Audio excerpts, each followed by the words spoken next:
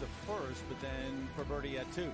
Leading the field in putting. This is her 22nd one putt in 38 holes. Missed the green at three, the par four, and then this her third. Oh, how about a no putt, Terry?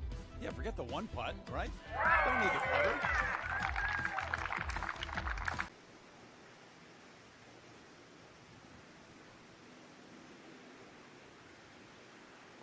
And that would be I'm losing count.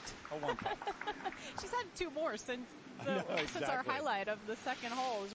Positive momentum. Hataoka back on the tee at seven. Players don't hit driver here because the fairway kind of cuts in. You saw Minjee Lee and that Kokina down the left.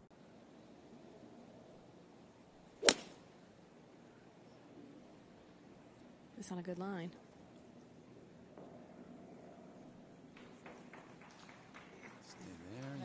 Similar place where we saw Minjee putt from, but she'll be on the putting surface.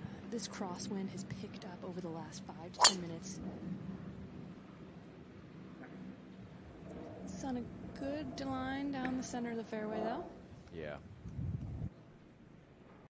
Good opportunity here.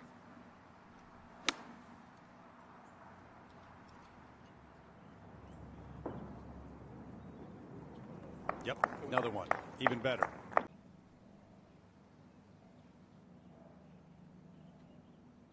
All right, I'm going to quit saying one putt. It's redundant.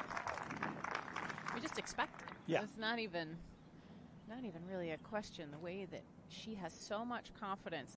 The only thing she needs to pay attention to is a fairway bunker on the right.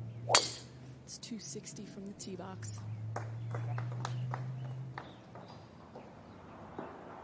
Yep.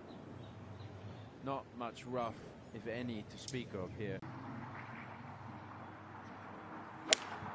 160 and only five paces behind this. This aggressive, though. That's good. You see very often, especially on tour, but she just has a very compact putting stroke. There's not too much movement in anything than club head, which is exactly what you want and why she does putt so well with the center shafted putter. This has been a very soft green from what we've seen so far today.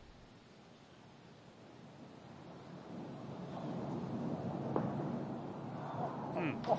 Another great shot. And landing at a pace or two short is ideal.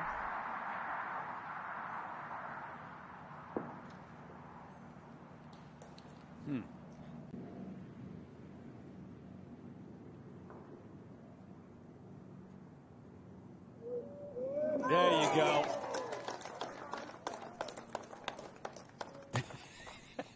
Just, just tremendous. Downwind as well today. Certainly a helping wind uh, for the players, so it makes this hole that much more accessible. One down the left, but not as far left as Amy Yang. She's in good shape.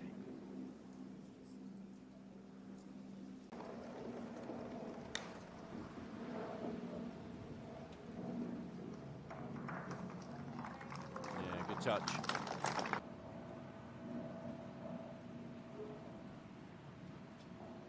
Thirty-one single putts through fifty-three holes.